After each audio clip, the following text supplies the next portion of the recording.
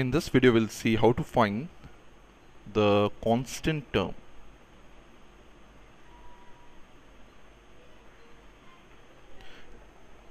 Or sometimes we also say the term which is independent of x or any variable okay, of any expansion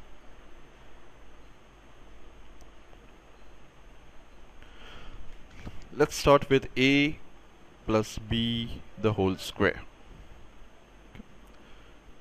So we have a square plus 2ab plus b square. But suppose if we have x plus 3 the whole square. So we have x square plus 2 into x into 3 that is 6x plus 3 square. So we have 9 so this last term 9 is said to be the constant term.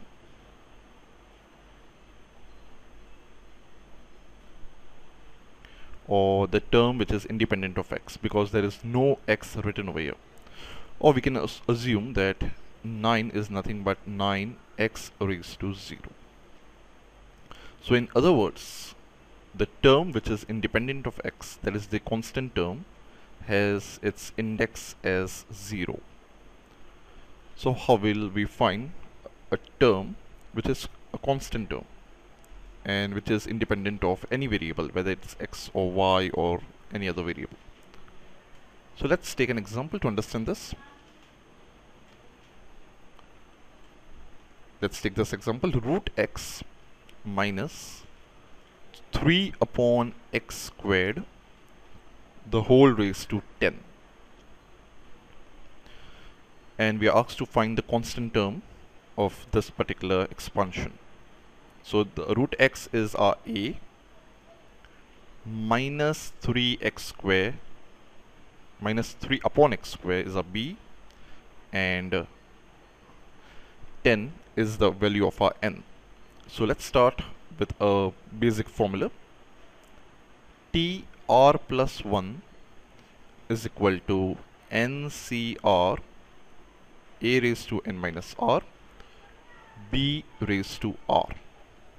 Now we don't know which term is the constant term so we don't know the value of r also.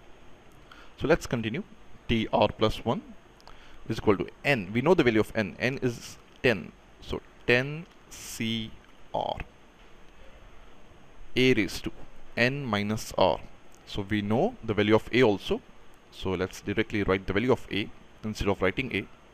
a is our root x. So root x the whole raised to n minus r. n is 10. 10 minus r into b raised to r. b is minus 3 upon x squared the whole raised to r. We don't know the value of r still. Let us try and simplify this. Let's start from here. So 10cr. Now root x can be written as x raised to 1 upon 2. So we can write this as x raised to 1 upon 2 the whole raised to 10 minus r into minus 3 raised to r into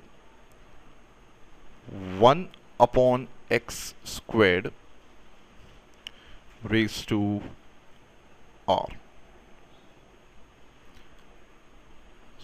is equal to 10 cr as it is. Remember this is t r plus 1 the r plus 1th term using the law of indices x raised to something raised to something. So those two somethings will multiply. So x raised to 10 minus r the whole upon 2 when we multiply 10 minus r and 1 upon 2 we get 10 minus r the whole upon 2 into minus 3 raised to r let us write minus 3 raised to r as this into 1 raised to r is 1 so we'll ignore it x raised to 2 in the denominator can be written as x raised to minus 2 in the numerator the whole raised to r. We'll continue. tr plus 1 is 10 cr x 10 minus r the whole upon 2 into minus 3 raised to r into minus 2 into r is minus 2r. Now let us take the like terms together. And we are mostly interested in this x because finally we want to find the constant term. So the indice of x is 0. So we'll take only the x's together and we are mostly interested in this particular x. So we can say that tr plus 1 is equal to 10 cr x raised to when we multiply x raised to something and x raised to something else we actually add these two indices. So we have x raised to 10 minus r the whole upon 2 plus minus 2r so we can directly write minus 2r into minus 3 raised to r we are basically concerned with only this particular variable.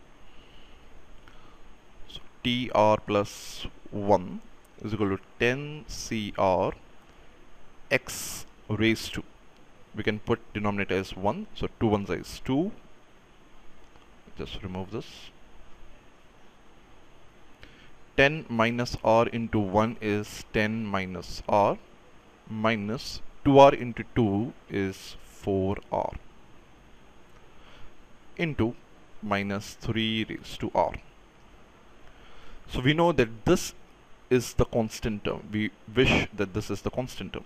So we can say that x raised to 10 minus r minus 4r that is 10 minus 5r the whole upon 2 is the constant term. So we have x raised to 0. So when we compare these two things we have 10 minus 5r the whole upon 2 is 0 because both the indices would be exactly the same this and this should be equal. Then only we'll have the constant term. Cross multiplying so we have 10 minus 5r is equal to 0 to is 0 then we have 10 is equal to 5r and we have 10 upon 5 is equal to r therefore r is equal to 2 so we have got the value of r. Let us substitute. So tr plus 1 is equal to NCR into a raised to n minus r b raised to r. So t2 plus 1, in fact this is the third term, the constant term is the third term, is equal to NCR. Let us see what is the value of n. The value of n is 10. Then we have a as root x and b as minus 3 upon root x. So we have 10c. R is 2, not 3, but 2 into a raised to n minus r. Our a is root x n minus r. 10 minus 2. So we have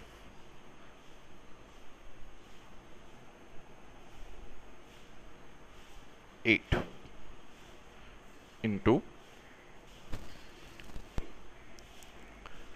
minus 3 upon x squared the whole raised to r which is 2 in fact we know that whatever we do over here the x will turn out to be 0 we know that.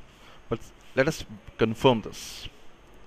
So 10c2 can be written as 10 into 9 upon 2 into 1 into root x can be written as x raised to half the whole raised to 8 into minus 3 square is 9 upon x squared squared is 4.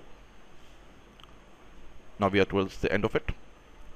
2 ones are, 2 fives are, 5 nines are 45. 45 nines are is 405 into x raised to 1 upon 2 into 8 is 4 into 1 upon x raised to 4 so that cancels out and we are just left with 405 so this is the constant term